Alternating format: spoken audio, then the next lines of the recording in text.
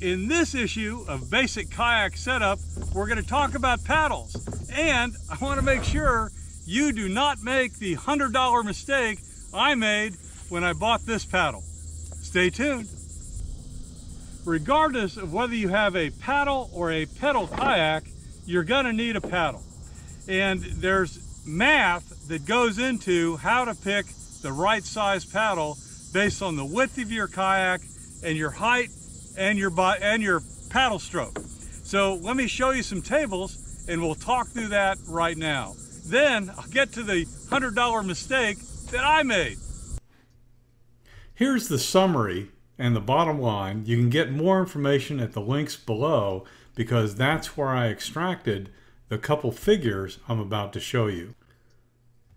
There are a couple ways to determine paddle height, but the simplest is probably just to look at your personal height and the width of your boat. And it ends up being a pretty simple choice. Just get a big paddle.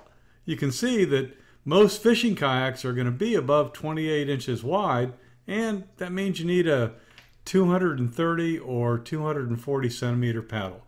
But there's some other ways to figure this out as well, and I recommend you go to the paddling.com link that I have below. Finally, it does make a difference on whether you use a low angle stroke or a high angle stroke. Make sure you're picking the paddle blade appropriate for that stroke. Now that you figured out what size paddle you need based on you and the boat, you got to figure out how much you really want to spend on it. Well, here's where I made my $100 mistake. I bought this paddle and I think it cost 150 bucks when I bought my Jackson Coosa FD, a pedal kayak. And over the last three years, as I've thought back over it, all I've basically used this paddle for is to push myself off the shore and to unplug myself when I get hung up on an oyster bed. So clearly, this paddle was a waste of money for that application. I didn't need something really light. Uh, it, it was just a disaster. So if you've got a pedal kayak, just buy the cheapest paddle you can find. It'll do fine and you'll rarely use it. But now, with this kayak, this paddle is gonna be the right choice for me because I typically will go out and do at least two, three mile paddles to get to the fishing locations.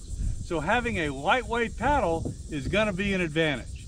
So if you have a paddle kayak, it's hard to say pedal and paddle in the same breath.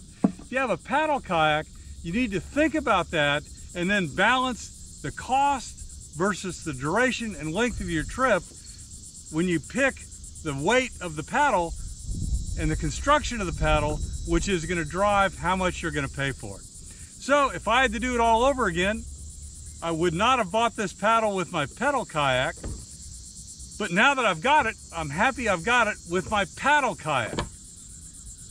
What do you guys think? You agree with the math on paddle size? Throw your comments down below. Thanks.